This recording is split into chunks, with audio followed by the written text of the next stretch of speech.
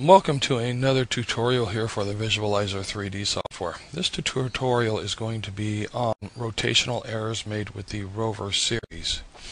If you have a an EXP 4000 or 5000, I'll bring that up near the end. On the Rover series, as you approach your scan, and let's take change our view here just a little bit, we're going to go forward here, and then you're going to go to the left. When you go to the left, do not turn the unit. Keep the unit facing the same direction as on your first level here. As you were going up here, if it's facing one direction, move it literally to one side and then bring it down the other. If you rotate the unit, what you're looking at on rotation is this here. This is a rotational error. Can you see these very straight lines here?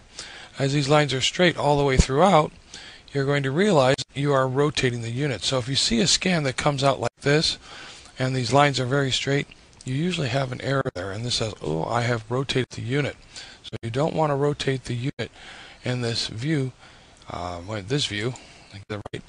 And you'll see that here with the straight lines, this is a very good indication of rotating the unit. Also on this scan here is another example. As you can see, when you have lines like this, is a very good indication that the unit is being rotated.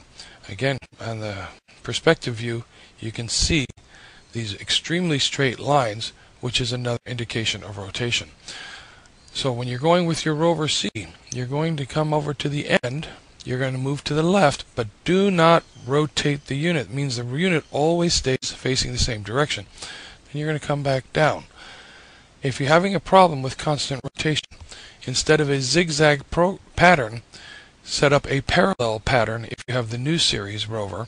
If you have the old series rover, then please feel free to email me and I will try to give personalized instruction on how you can uh, better accomplish this problem because there's a couple techniques I've learned actually from other customers and I like to pass them on because knowledge is a good Um, okay, if you have the EXP 4000 or 5000, let me get over here to the front view.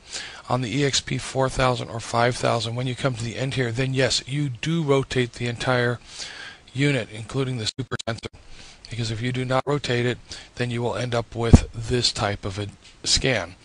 Anyway, um, whenever you do see a scan like this, where you have constant straight lines that you're looking at, please be aware that these lines are an indication that you have turned the sensor and this is an error.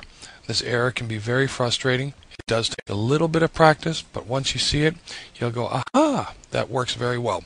So, if you have any questions again, please give me an email. That's fcasser, C-A-S-S-E-R, at okm-gmbh.de. Thank you.